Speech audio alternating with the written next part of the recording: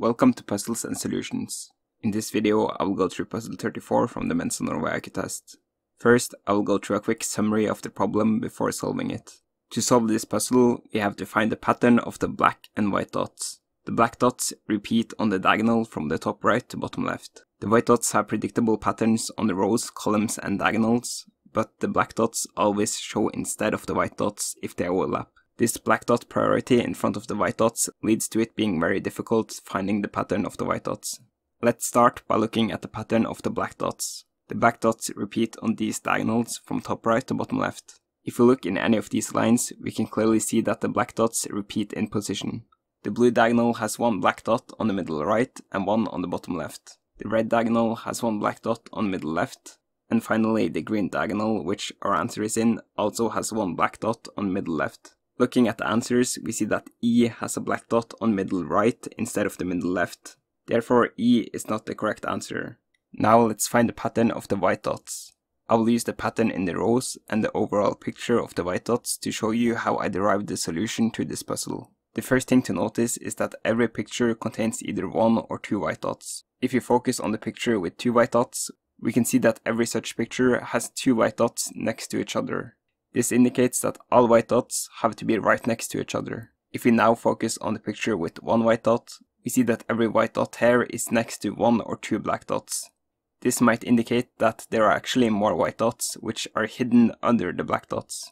Also, since there is a maximum of two white dots per picture, what if every single picture contains two white dots, but they're hidden under the black dots? Taking a look at the first row, we can see five white dots, and each of the white dots are in different positions. What I mean by position is that we can see every dot can be in a total of 6 places.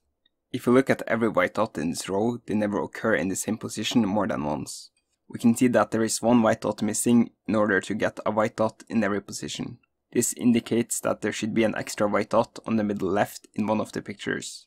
Now let's step back for a moment and think of the very first idea I mentioned in this video. I said that there might be two white dots in every picture, the white dots are right next to each other. Looking at the first picture, we can clearly see how there has to be a white dot on the middle left if this is true.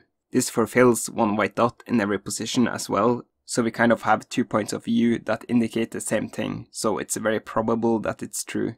Now let's look at the second row and look for patterns there. The first picture already have two white dots. The second picture has one white dot, which is next to a black dot. This indicates that there should be a white dot underneath the black dot. The third picture also have a white dot next to a black dot, so there should be a white dot underneath the black dot. We can clearly see how there is one white dot in every position in this row now, so the second model holds up as well. Now you might tell yourself that these rules are somewhat arbitrary picked and that they could be true by random chance. But looking at the columns and diagonals, there is a clear indication that these rules are in fact true. I'll shortly go through the pattern in the columns and diagonals in the end of the video. To solve the puzzle, let's look at the last row.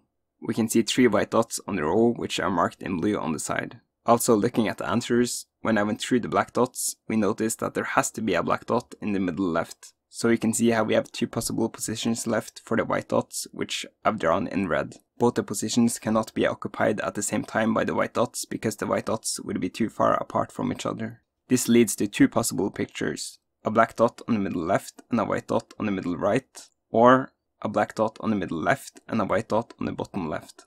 Looking at the answers, we see that no answer is identical to the first picture, so it has to be the second picture. Answer A is identical to the second picture, therefore A is the correct solution.